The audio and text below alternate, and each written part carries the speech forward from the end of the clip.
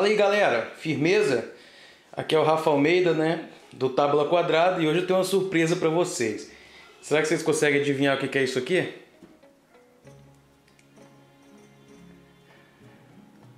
É... Exatamente, galera. É... Essa aqui é a primeira unidade do Saif em português no Brasil. É a versão da Fire On Board Jogos. É, o pessoal disponibilizou pra gente, essa aqui é a versão que a Panda manda para eles, para eles verem se está tudo ok. E a gente vai fazer o unboxing para vocês. A caixa é fantástica, fenomenal, tá? Tem nem o que dizer. Acabamento impecável, muito bonita mesmo.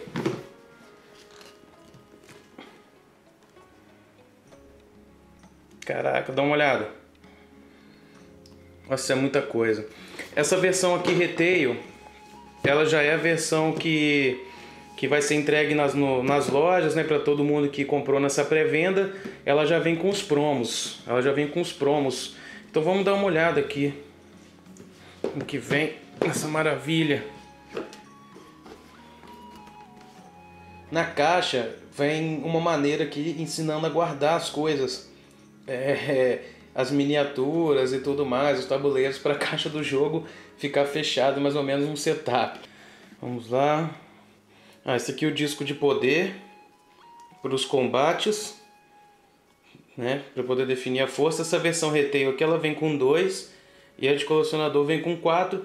Só que dois é mais do que suficiente porque sempre dois jogadores que vão estar em conflito mesmo. Aí dê uma olhada na arte.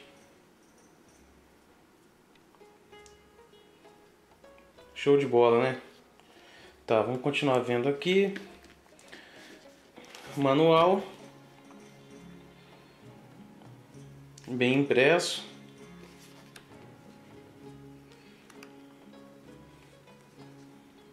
Setup do jogo. É, o manual é longo, mas pelo que eu vi o jogo não é muito complicado não. É, crédito da versão brasileira. On board jogos. Show de bola. Vamos colocar isso aqui de lado, vamos dar mais uma olhada. O que é isso aqui? Registro das proezas.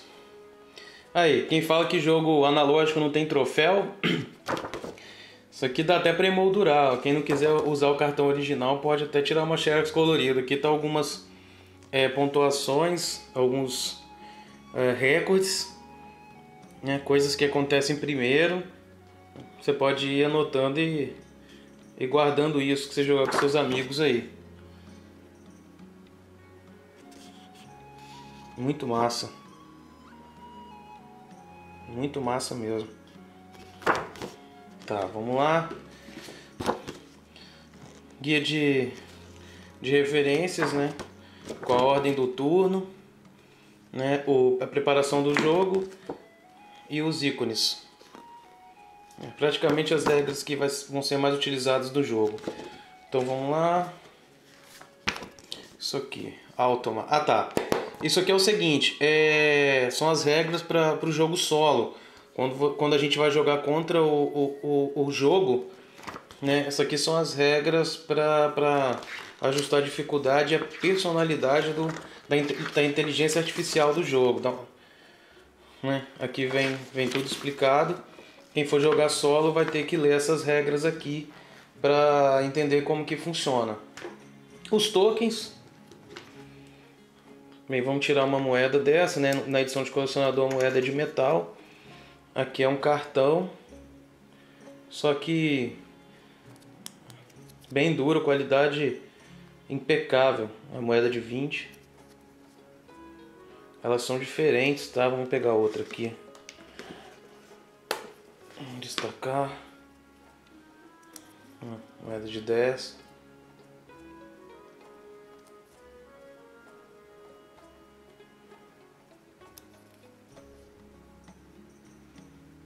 Muito massa, cara. Tem uma moedinha diferente aqui. Um destaque aqui no meio.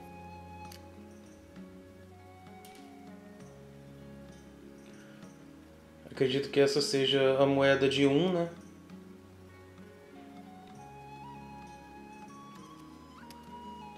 Show de bola.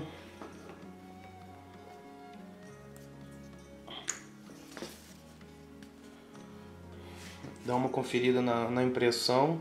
Os cartões são iguaizinhos ao, ao, ao jogo gringo. Vou tirar aqui. É, não tem diferença nenhuma de qualidade. É bem resistente. É feito para durar mesmo. Muito massa. Bem, vamos tirar o tile. Ah, tá aqui o mega tabuleiro. Ele tem esse lado é, maior, que seria para usar com a extensão da, da edição de colecionador. Aqui, vocês estão vendo que, que, que não, não completa, parece que está cortado, é porque a edição de colecionador tem essa, essa parte aqui, é, que seria o 50, a, a extensão, 50% maior. Quem não, não tem edição de colecionador, vai ter o tabuleiro completo do outro lado.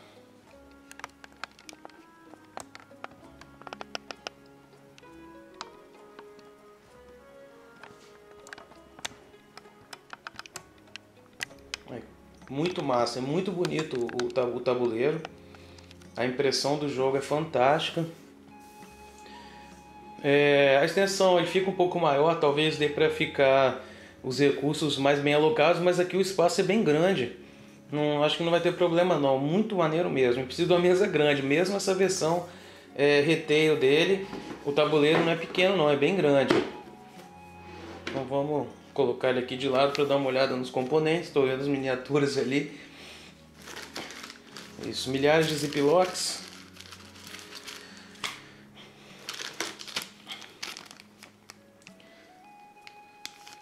Vamos pegar uma carta aqui para ver. Aqui a carta de referência, né, falando sobre os territórios, como vencer, algumas sugestões de, de táticas, né, estratégias para poder vencer o jogo. A qualidade sim é impecável, como todos os jogos da, da Stone Meyer.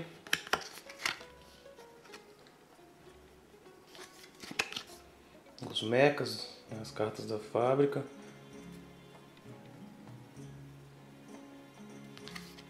A arte do jogo é fantástica. Ela climatiza muito bem o, o ambiente do jogo, deixa a gente com vontade de jogar, porque essa coisa vapor punk, né? Uma guerra fria muito, muito interessante. Essa coisa, tecnologia e tudo mais.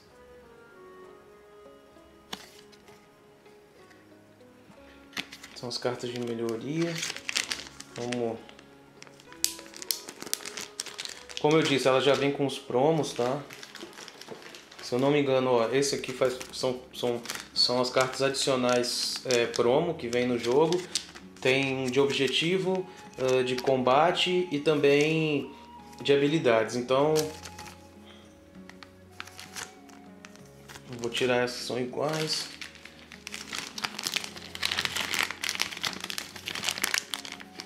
Essas aqui são são as cartas de, de poder, né? as cartas militares que são usadas em adição ao disco de poder no combate. Vou pegar uma aleatória aqui para a gente olhar a arte.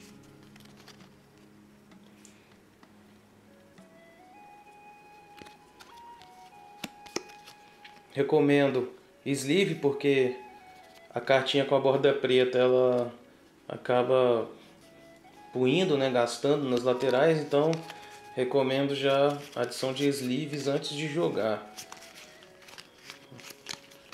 Nossa, arte muito bonita.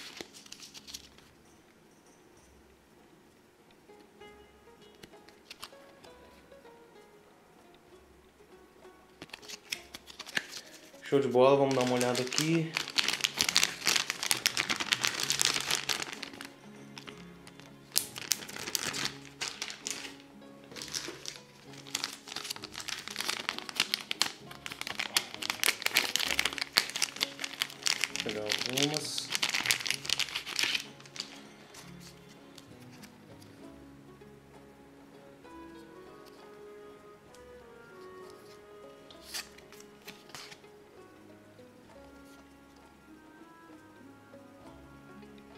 Carta é muito bonita mesmo. É, são as ações aqui que você pode realizar e as recompensas quando você escolhe, né? Você vai, comprar essas cartas quando, quando geralmente faz os encontros pelo mapa e elas têm umas recompensas imediatas que você escolhe assim que que você termina o encontro, você já pega essa recompensa. Alguns gostam dessa estratégia de já ir para cima dos encontros, tentar pegar essa recompensa imediata. Alguns, é, alguns pensam em estratégias mais a longo prazo que conseguem. O jogo é equilibrado para isso, né? não importa. Quem fizer todos os encontros não necessariamente ganha, até porque precisam colocar as estrelas no jogo. Né? Aqui são os extras do, das recompensas, como eu disse, vem os extras de todos já dentro aqui do jogo.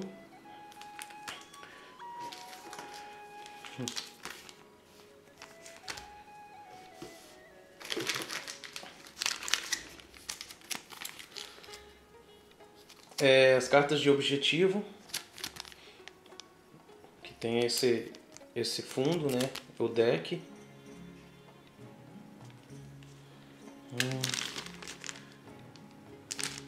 Aqui, essas são as, são as, são as extras do, dos objetivos que eu tava na mão. Aqui o deck básico de objetivos, cada jogador começa com dois e escolhe um para fazer. Se no meio do jogo não tiver dando para chegar, ele pode fazer outro é a escolha dele. Então isso também aumenta o nível de estratégia do jogo. Aqui as cartas dos, dos da, da fábrica, né? A carta de tecnologia, que tem algumas ações extras e benefícios. Em adição ao playmat de ações das facções. Vamos pegar os playmats aqui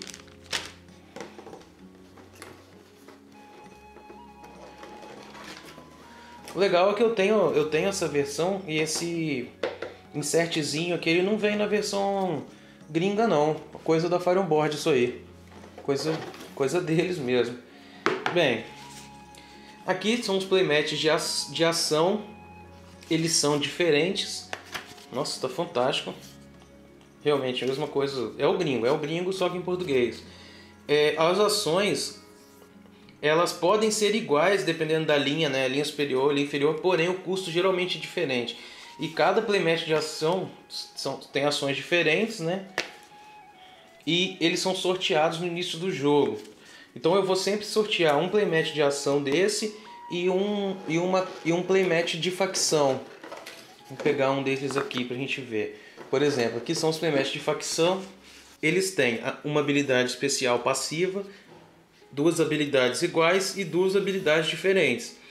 Então, a cada jogo é, vai ser sorteado os tiles de facção, né, o acabamento. Vai ser sorteado também é, um dos tiles de ação. Então, a chance de um jogo ser igual ao outro, porque eu vou pegar uma facção, mesmo que eu pegue a mesma facção numa outra partida e muda o meu tile de ação, eu sou obrigado a fazer outro jogo diferente, ver outras estratégias e tudo mais. E mesmo que eu pegue o mesmo, os dois, se, se calhar de, de eu ficar com as duas coisas iguais, é, os outros jogadores e os objetivos fazem uma partida diferente. Então a chance e as possibilidades de estratégias aqui são tão altas que a chance de acontecer dois jogos iguais é muito difícil. Eu quando jogo Saif, termino o jogo, eu já quero jogar de novo pensando em fazer uma coisa diferente que eu fiz e não deu certo, ou um passo que eu dei que poderia ser melhor dependendo de uma coisa que eu fiz. Então eu sempre quero jogar de novo, cara. É muito bom. Bem, a qualidade está impecável. Na parte de trás do, do, do, do, do, do playmat né, de ações. Vamos colocar aqui. E as, as facções. Vamos pegar a última aqui que está aqui dentro.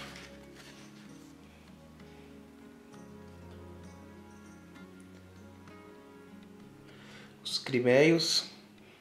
Uma vez por turno pode gastar uma carta de combate como se fosse um recurso qualquer. Show de bola. Tá, vamos né, ver as miniaturas aqui. Aliás, vamos deixá-las por último. Tô vendo que. Ah, olha que legal. Vem umas caixinhas organizadoras para colocar os recursos. Se eu não me engano, é... a versão de colecionador dela tem. São quatro e nessa aqui são, são dois. Na versão retail. Vamos dar uma olhada nos recursos. Tirar eles aqui da caixa.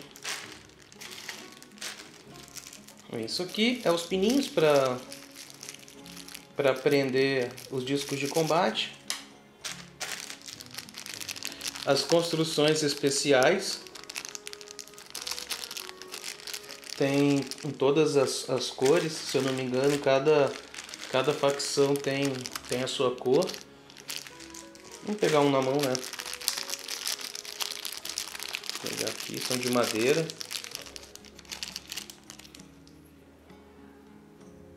O moinho.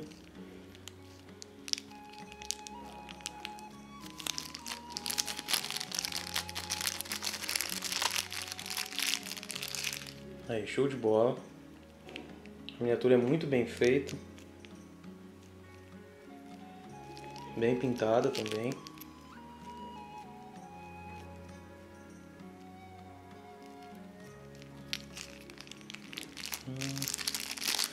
Caraca, é muito componente, tem muita coisa aqui para ver.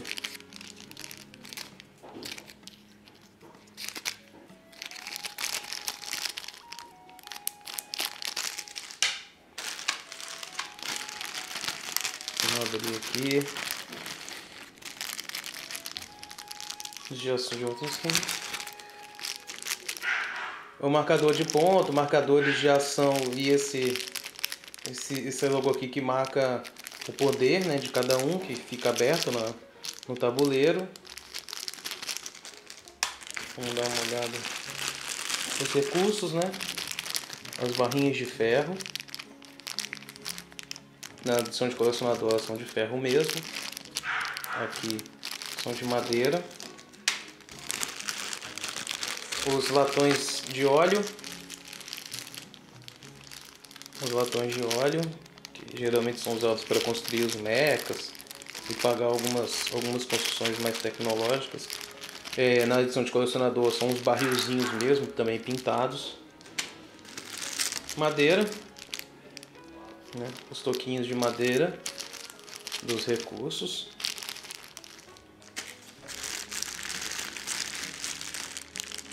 Comida. Os, os recursos de comida.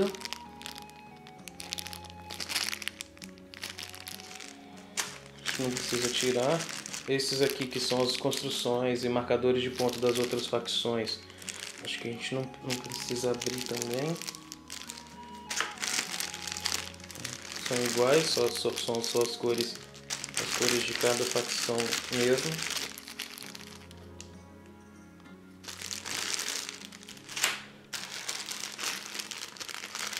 Aqui tem as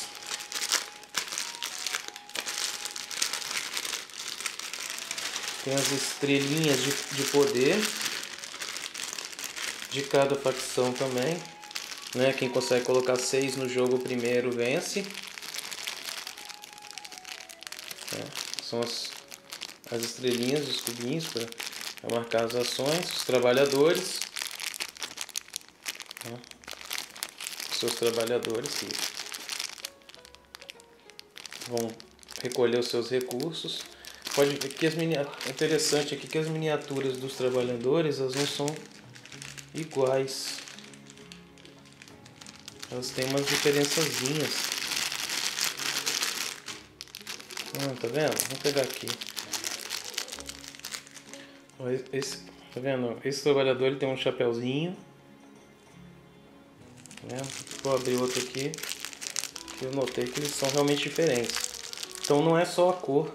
Eles tiveram preocupação em realmente diferenciar as facções em tudo. Em habilidade, tá vendo? Em. Em. em, em coisas que eles conseguem fazer, habilidades especiais, habilidades passivas, história. O jogo tem uma história fantástica e os trabalhadores também são diferentes. Fica, fica bem personalizado, então quando você joga dá para notar a diferença entre eles. Muito legal.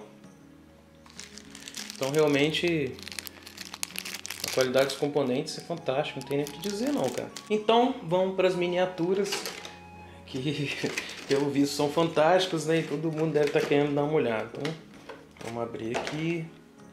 Vamos pegar os heróis primeiro. Vamos ver a riqueza de detalhes.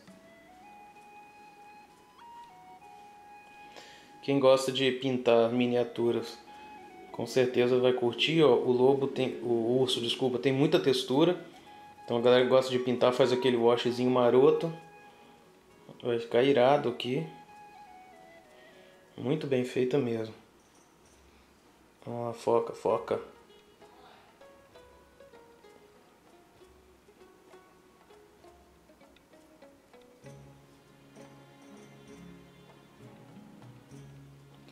Vamos pegar outro aqui. Os nórdicos, que eu acho mais maneiro de todos, que é o bisão. É irado desse bisão.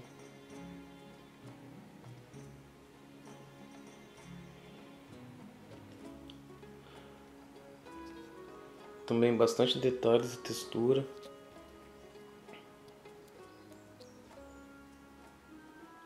Muito bem feito. Crimeia.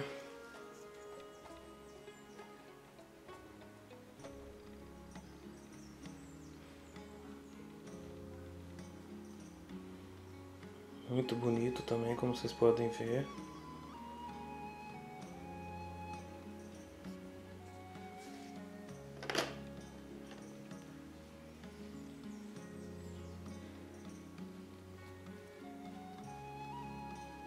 Iradíssimo.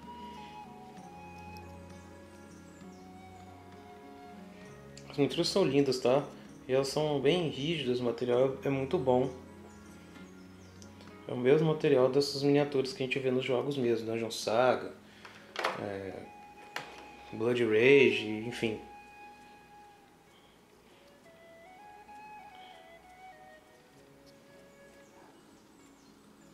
Essa linhazinha aqui da marcação.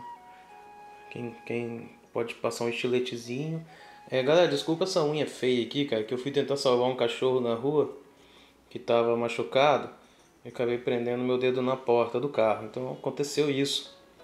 Fiquei com isso dedo feio no vídeo. Fazer o que? É vida. Vamos pegar os mecas aqui.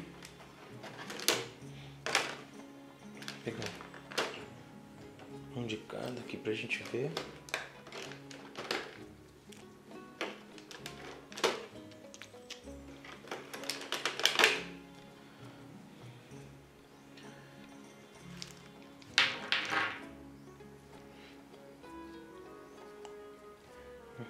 Os mechas são todos é, estilizados, né? São personalizados para cada facção.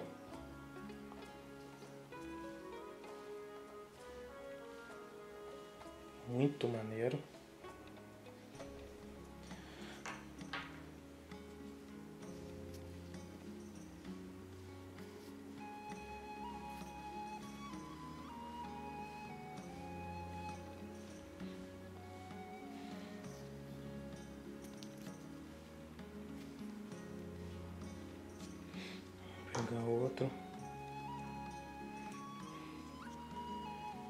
Esse aqui é irado, né? Parece um trator. Um pequeno canhão de tanque aqui atrás. Vai destruir tudo.